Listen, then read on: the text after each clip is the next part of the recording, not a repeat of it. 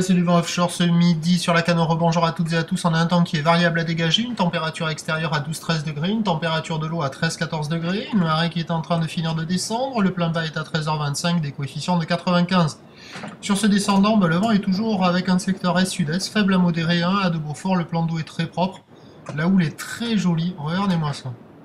La houle est en ligne, de belles lignes de houle longues, bien propres, bien rangées, moins multipliées que ce matin en légère atténuation. Il y a un déferlement régulier à la hauteur de 2,50 à 2,80 et sur les séries à 3 mètres à 3 mètres 50, des fois un bon 3 mètres 50. Par moment, il y a des vagues absolument magiques qui passent, absolument parfaites.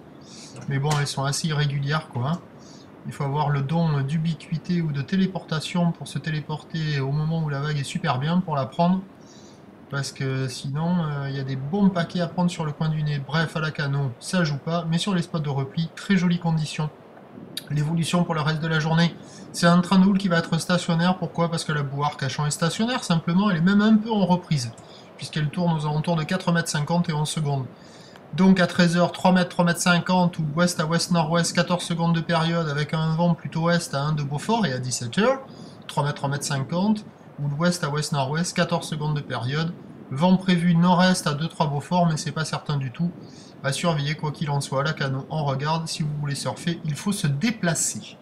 On se retrouve demain matin à 8h pour le prochain bulletin. Merci.